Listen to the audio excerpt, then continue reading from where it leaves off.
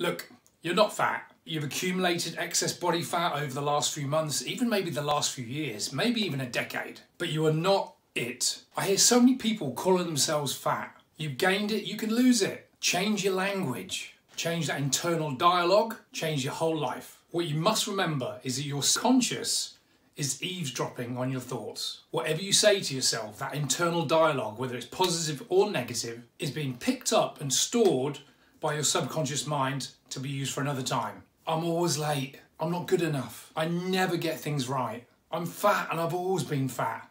And so on and so on, and the record keeps playing. Keep saying this stuff, and your subconscious will go out its way to prove you right. Gav, I've tried everything, I can just never lose weight. Yep, and you never will if you keep telling yourself that. You gain weight, which means you can lose it. You were not born fat, you're not meant to be fat. You are not fat, okay?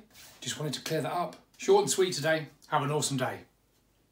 Oh, and by the way, if you do have a few pounds to lose, give me a shout. I can help you lose all that body fat and never find it again.